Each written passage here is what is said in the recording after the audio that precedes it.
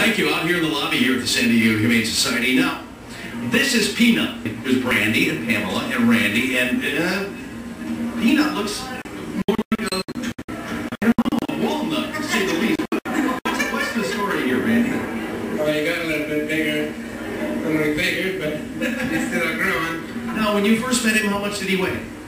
He, how much did he weigh? Well, Um, probably. 10 pounds when we got her. But when he came to the Humane Society, he weighed less than a pound. Yeah, less than a pound. They didn't Yeah, think she was just. that Peanut was going to make it. Correct. And they did uh, they did the treatments here at the Humane Society, and look at him now. He is happy. He is healthy. He weighs how much? 32 pounds. 32 pounds. You've been holding on to him now for the last 15 hours. Yeah. We wanted to make sure that, that Randy got the exercise. And look at this, a big old Shar-Pei, and just look at this. It's so nice. Thank you.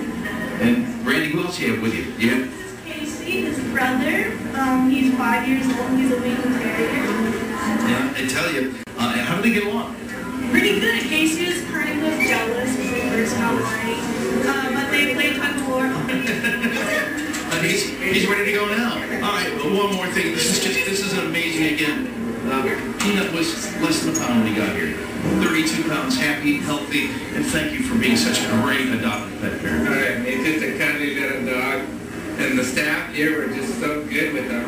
And they made a dog that was rather supposed to be not that nice a dog, just into a cuddly little thing. You know, we talk about training and we talk about behaviors, and, and this is just one of the things that happens here at the Humane Society. It's all about it's about saving lives too, and this is one thing that you guys have done for Peanut. The Humane Society started it all. Thanks for your support.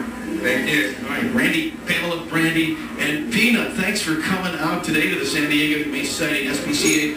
1-877-2-HUMANE is the phone number. Hope you make a call and help support these programs. Let's go back inside to the studio here at the Pet Telethon. All right, everybody. Hey, guess what?